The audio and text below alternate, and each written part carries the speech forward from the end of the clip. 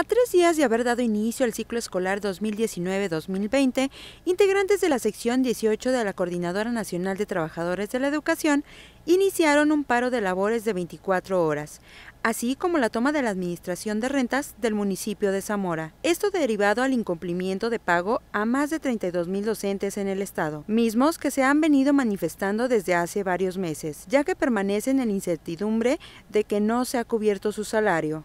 Este es un plan emergente que se diseñó el pasado lunes en el Comité Ejecutivo Seccional,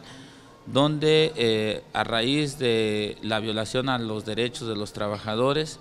nos vimos en la necesidad de hacer una denuncia pública a través de la toma de receptorías de rentas y de la Secretaría de Finanzas en Morelia